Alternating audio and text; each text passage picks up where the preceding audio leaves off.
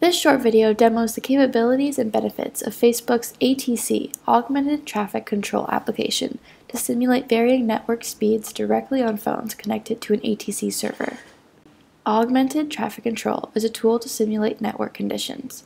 It allows developers to control the connection that a device has to the internet. The three phones displayed here are already connected to an ATC server that's been set up.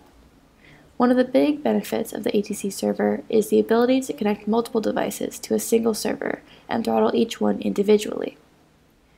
We will execute an automated script to set the individual phones to the network speeds 2G, 3G, and 4G, then execute a speed test to show the different connection speeds of the phones.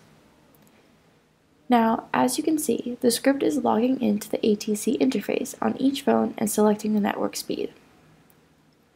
Another great benefit of using ATC is that you can repurpose the same phone to run tests across multiple network speeds and conditions from a fixed location. Once the networks have been set the same Awetest script will launch and initiate the speed test utility that is installed on the phones.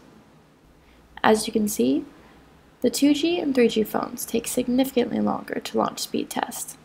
The 4G phone has completed with a download speed of 7.83 megabits per second. And now we wait to see the speed of the 3G phone, which finishes with 0.23 megabits per second. And lastly, the 2G phone, with 0.01 megabits per second.